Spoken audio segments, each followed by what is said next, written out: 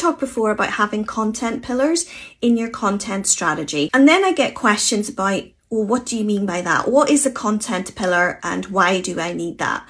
And very simply, a content pillar is another word for having content categories. These categories are basically different titles or headings or themes that you build content around for your business. Now, as artists and makers, we have some very obvious content pillars, content categories, and of course that is going to be our work. That is one type of content, but it's only one pillar, one category. We could break that down further and we want to be thinking about what do our customers want to see from us? How are they going to get to know us as an artist? How are they going to get to know us as a maker? How are they going to get to know our product? What do they need to know to help them buy our product? Do they need to know the stories behind the pieces, the concept? Do they need to know how the piece is made? Is that important? How are customers going to use our products? Why would our customers be buying our products? Who is our product for? And I want you to start to build themes, titles, categories around these things.